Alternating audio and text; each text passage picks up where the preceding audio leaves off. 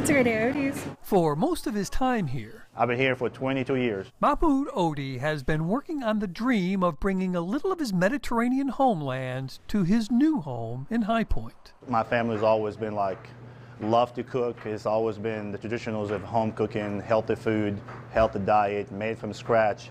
Just like his mother taught him. She's always like very strict how she do her recipes, no shortcuts. And the funny is when we first opened, she was here visiting and how she want everything done correctly, like step by step. And made to look like food art. It was important to Odeh that the food was affordable for a whole family, and the community took to it right away when he opened last September. A single chicken platter or just the chicken kebab? And then, just six months in, the coronavirus shutdown orders changed everything. Our lunches dropped down to like 85%. It comes with your choice of two sides. What saves us the biggest time is dinners. Dinners kind of keep us busy. The community did very well for us, been very supportive, and we are grateful. I couldn't ask for anything better. He's dug deep into his own pocket to make sure that his staff is still able to work and get paid.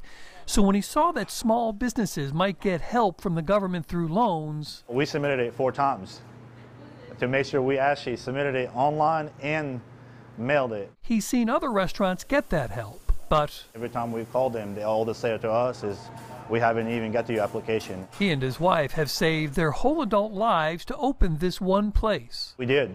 We did. We have, I mean, we put pretty much our saving. We did, this is a dream of us, and uh, and we did it on our own without doing any business loan or anything like that. And they believe they can survive if their suppliers can continue to provide enough quality meats. In the beginning, I was not worried about it, but right now, when I start talking to my suppliers, where we have to reserve put a reserve on the meat. He knows that as long as he can prepare it like his mother taught him, his new home will literally eat it up. Bob Buckley. I'm glad to be part of this community. Fox 8 News.